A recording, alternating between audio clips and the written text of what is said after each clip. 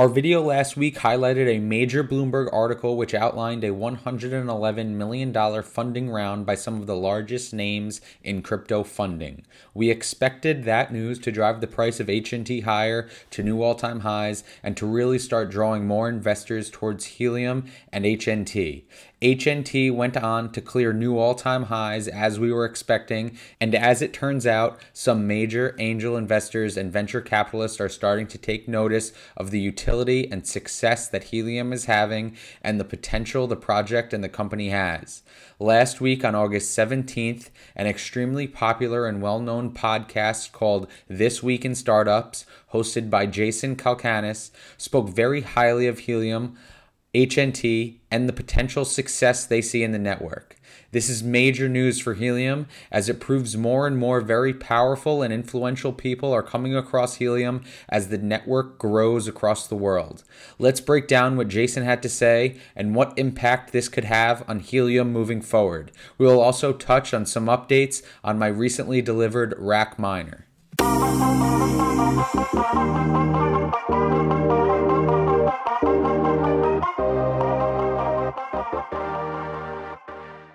Hello everybody and welcome back to another video here in the Crypto Compound channel. Very exciting few days and weekend here for crypto and HNT especially. As mentioned in the previous video, I was suspecting that the recent news and overall bullishness regarding the crypto markets would drive HNT to new all-time highs and escape this previous range that we were stuck in here and it looks like we have. This was a major resistance to blow through.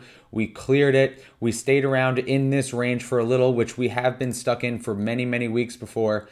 And then we continued to rally and rally higher to new all time highs above $26. Now, of course, there is a pullback here in the past about 12 hours.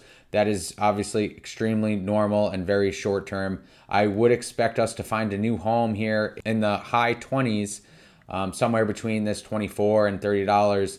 I would expect a new range to form there. Of course, if there is a major sell-off in broader cryptos, that will put a lot of downward pressure on the HNT price, and we'll have to see if it's able to hold its place there and technically outperform the rest of the market. But time will tell. It's just really, really great to see that HNT was able to clear these all-time highs and outperform a lot of its peers. As we can see here, HNT has made it to the lower 60s.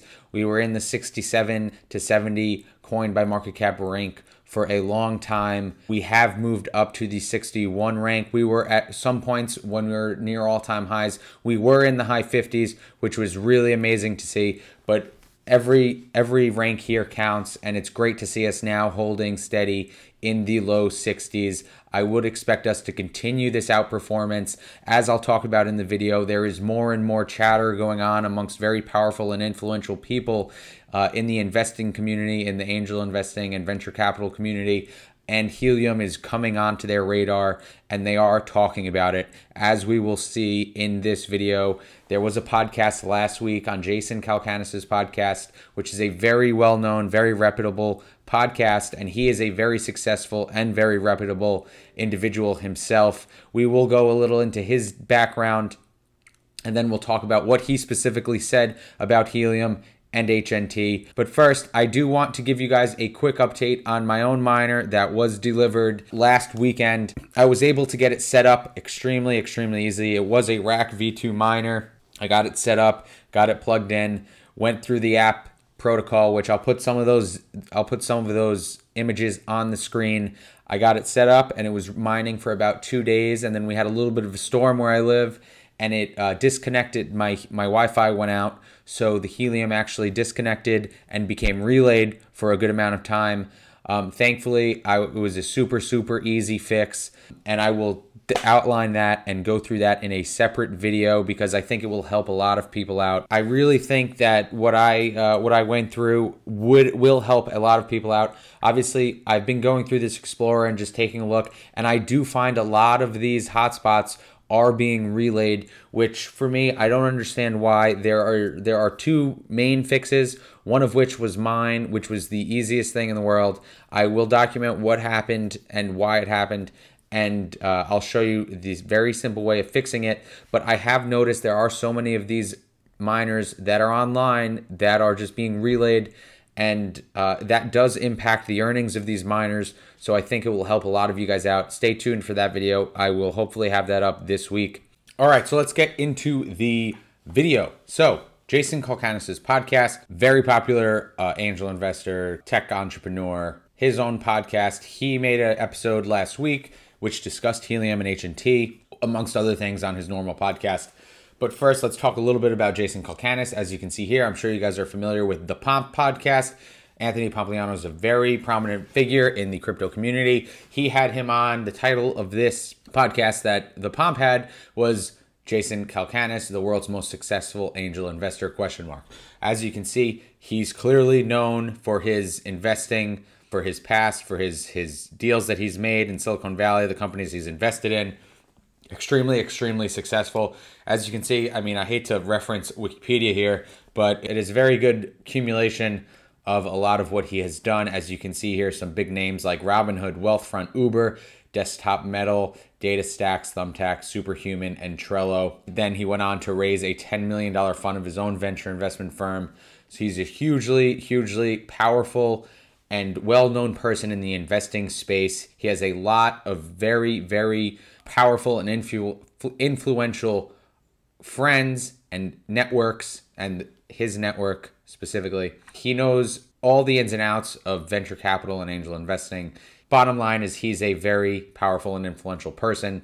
And this podcast is listened to by a lot of his network, a lot of people looking to find new things to invest in, which are perfect for people, which is a perfect market for people looking uh, and discovering helium. So, let's get into a little bit about what he said specifically uh, on his podcast. So I put together a list here. Uh, I went through, I listened. There's about a, I believe it's, it has to be around nine to ten minutes of him talking about helium and HNT. I went and did a little spark notes for you guys so that you can get an idea of what he said. You, of course, can go listen to it um, if you want, I would recommend it. It is very interesting. I would also recommend listening to his podcast in general. It is an extremely educational podcast. You learn a lot. You hear a lot about how these people think, how they find companies to invest in, and you will also hear about things like helium. For example, if you didn't know about helium and you were listening to this podcast, this would be been an introduction to helium, which is invaluable in my opinion. A good friend of mine who actually introduced me to helium is the one who has introduced me to this podcast as well. So I am very thankful for that and for this podcast. Now, if we look at Jason Calacanis on helium, uh, you go through this is sort of in chronological order of what he was talking about it's uh, I'll, I'll just go bullet to bullet. First, he mentioned specifically the news that I mentioned last week in one of my videos about the $111 million funding round led by A16Z, which was a Bloomberg article. I mentioned in last week's video how that being a Bloomberg article and being such a large funding round was going to vibrate through Wall Street and through the uh, venture capital and angel investing space. And apparently, now, based on this podcast, it's clear that that is the case. Now, next, he mentions that Helium is backed by a real venture capital firm. This, of course, is contrary to many other crypto projects. He also explains in plain English how HNT minings and the incentives for the users and the miners works. He puts an emphasis on the incentives for miners to provide coverage, which is a huge key, is one of the keys to how Helium functions as a company and as a uh, and as a network. He is also in this podcast focusing on the 5G capability that FreedomFi is launching on the Helium network, hopefully by the end of this year. He emphasizes how people are 100% willing to pay for internet coverage, which is hugely important because that really establishes HNT and Helium as a utility that is needed and that people are willing to pay for. He explains further how HNT price has uh, has 16x since January. As of the time of, of the recording of his podcast, it's probably closer to 20x as of today, uh, the recording of this video. Uh, here's two quotes here from him in the podcast. He says, "I think I'm going to buy a thousand dollars worth worth of HNT if it is on Robinhood. He loves Robinhood because he was one of the first investors in Robinhood, so that is part of the reason why he is uh, mentioning Robinhood here specifically. And he also says it is one of the, and I quote, one of the few crypto ideas that actually has an application. That is another huge, huge, huge, and important." differentiation between Helium and a lot of the other top 100 crypto coins by market cap. Uh, Helium actually works. It has a function, it has a utility, and it has a network that is really built and it is across the world already, close to, I believe, 140,000 hotspots across the world already. He does mention that this is one of the few use cases of crypto that he, in fact, believes in, which is extraordinary to hear from a guy like him. Uh, he highlights the transparency of the network, the breakdown of the token distribution, and explains how this differentiates it from other projects. Now, a lot of other crypto projects will not explain any of the transparency of how the how the the incentives work for any of the founders or investors or how they will be paid. However, Helium and HNT has a very clear breakdown of this on their website, which I will show you right now. As you can see very clearly here on the Helium website is the HNT distribution of the year one breakdown. Of course, this is in the past, but uh, it is updated and they do explain uh, and give you a very clear graph here the first year 30% to network data transfers 35% to hotspot infrastructure 35% to helium inc and its investors very, very clear 100% transparency on the breakdown of HNT. And here you will see over the 50 year course that is outlined how the breakdown how the breakdown evolves throughout time. This is 100% transparency from day one from Helium, not seen almost anywhere else in the crypto space. Very, very unique and very positive for Helium and HNT. He also focuses on the utility and the investment case for Helium. He says that a lot of coins or even just investments in general are one or the other. He explains how he thinks Helium is actually a utility and an investment at the same time, which is fantastic to hear from a guy like Jason.